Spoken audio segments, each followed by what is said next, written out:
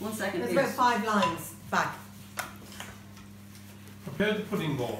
I've reasoned thoroughly with both. I have to do that first, okay. base. Next step, mix the chopped Can mix hazelnuts. up the Yeah. eggs? Sift through the flour. Sift Really? together the flour and spices. Do we do that? Yes, there Right? James, you did that, didn't you? Okay. Where's the jug?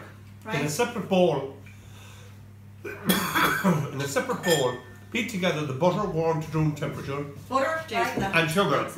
Yep. Can I beat them? and then beat in the In eggs, the cup? adding some of the sifted flour and spices. Right, mommy. The eggs are supposed to go into the other thing. Into which? In with the butter and the sugar. Yeah. But They're in here. James, No, they're here. here's some more egg. But you put them in here, didn't you? What? You put the egg in here. No. No, they're here. What They're did you put in here. here? The hazelnuts and the orange Did you get juice. Jessica's second meal? That was an egg in there. No, it was The orange orange juice, the orange juice. Was it? Yeah, Oh, must have been. It was. okay. I guess this is what happens when you have five when you have five chefs. What is it they say about too many chefs?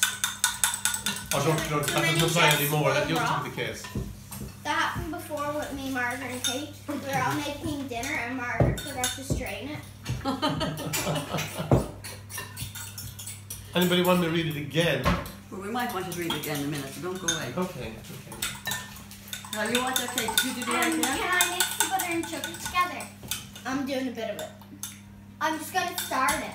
Yeah. Like, where's the butter? Wait, Uh oh. Who took the butter?